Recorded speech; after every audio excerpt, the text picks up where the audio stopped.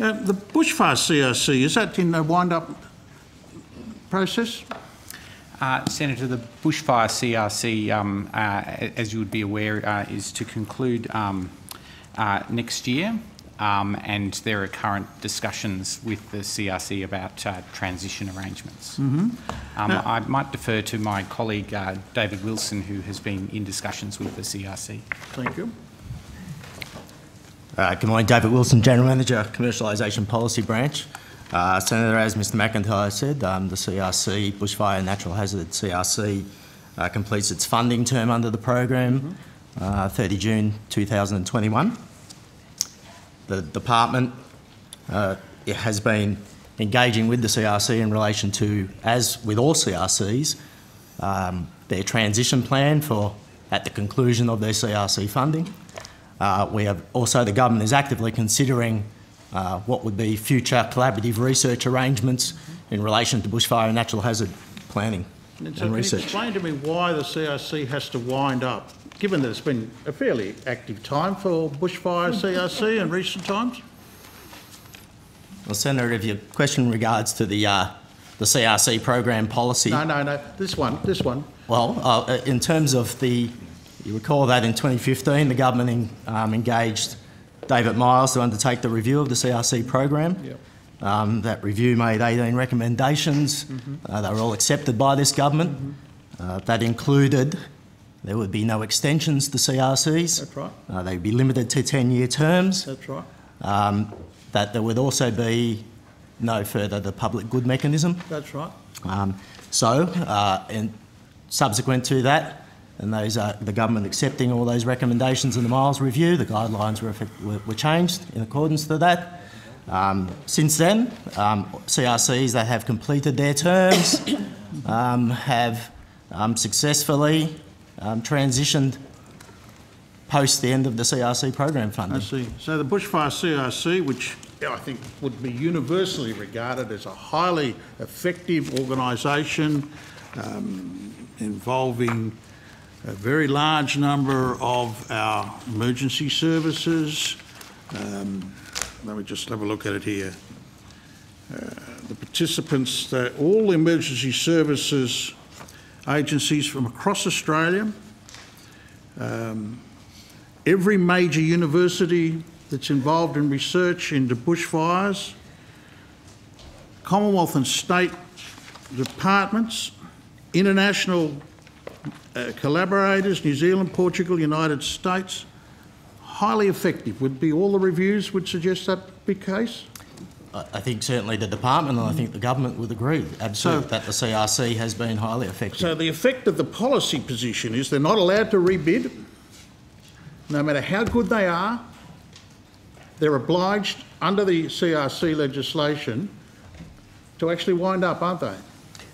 So, Senator, it's not the legislation, the program guidelines. Well, well, let's be clear about this. They can't trade while insolvent, they can't get extra money, they must wind up. Isn't that not the case?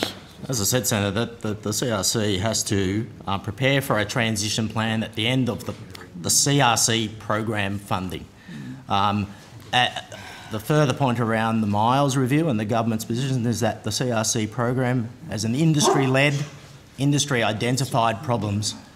So for this CRC, I, I absolutely agree that this is a large and very effective collaboration um, involving, as you, as you state, a number of universities, state emergency services, federal government um, agencies, Geoscience Australia, the Bureau of Meteorology. Yeah, yeah. Uh, as I said, the government actively engaging both with the CRC around what are transition options as well as what are future collaborative research arrangements to support bushfires and natural hazard research. Yeah, okay, so what's the alternative funding source if this work is to continue?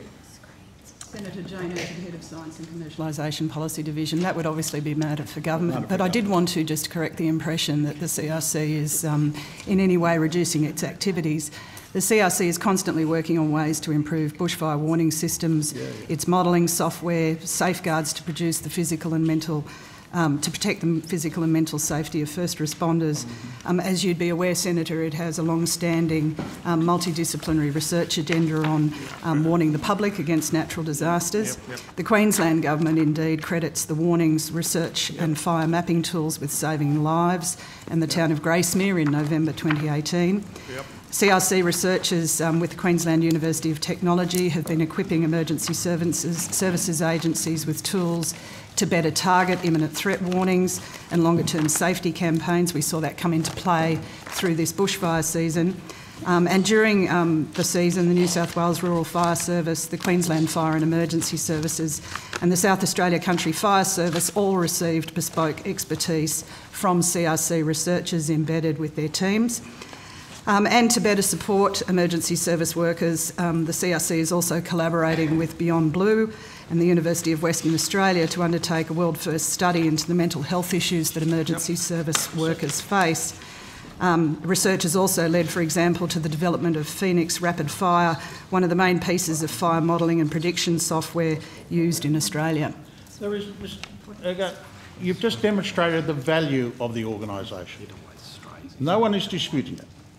But I'll just read directly from their own publication. It is clear that the CRC is not eligible for refunding in its current form from the CRC program as the guidelines do not allow this and it is planning on this basis. It is also taken as a given that there cannot be a transition if the CRC cannot demonstrate value to its core partners by delivering on its commitments over the remaining of the current period. Now, there's no extra money coming out of the core partners, is there? Senator, um, I'm aware that the Bushfire and Natural Hazards CRC, the Chair, the CEO, and other members of the CRC have been in active transition planning.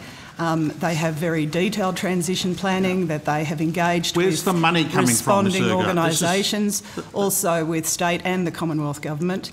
Um, so, Senator, um, those discussions are very active, and um, future funding from um, the government would be a, a matter for consideration. by the government. And so we recently lost the ETH program, right? and there was an establishment, and according to the the uh, finance department, there's establishment of a $4 billion emergency response fund. So, Senator, you would have to direct those Yes, questions I to the. Education But Department. surely, has the department made any effort to secure additional funding for this incredibly valuable CRC, this extraordinarily successful program, so, from any other source within government? so, as you can see, Senator, the department certainly values um, the work of the CRC, as does the government. I know that there have been, um, you know, extensive engagements between ministers and the CRC, as with other agencies working very actively in relation to bushfire science. Um, so, um, you know, the government well appreciates the value of the cooperative research